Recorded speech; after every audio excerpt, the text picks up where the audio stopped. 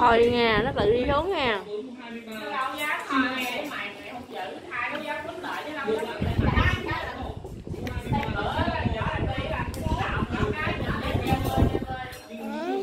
Đừng có lối lố quá. Tao chỉ đẩy nhẹ thôi, còn nó là được nước đẩy thuyền điển điển điển điển điển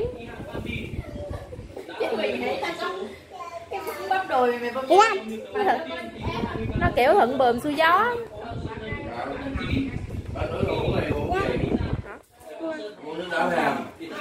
con bị gì hả? Mắt con bị gì hả? Trời sao vậy? Sao mắt chi bị sưng vậy? Trời ơi mắt nó hí rồi còn bị sưng nữa. Trời cái đầu suy bự hơn đầu năm không kìa? Thì cái nó nhiều. Ăn nhiều cái đầu bự hả